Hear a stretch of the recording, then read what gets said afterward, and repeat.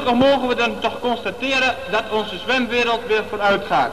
Jopie, we wensen je van harte geluk, ook namens het bestuur van Halen, met dit behaalde wereldrecord. Ja. En Jopie, je ziet, je kunt nog wel, toch nog wel zwemmen, nietwaar? Waar je wel eens aan gedanhoopt hebt.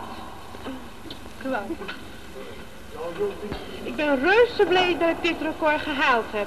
En ik hoop dat ik volgende week de 400 meter ook zo zal doen.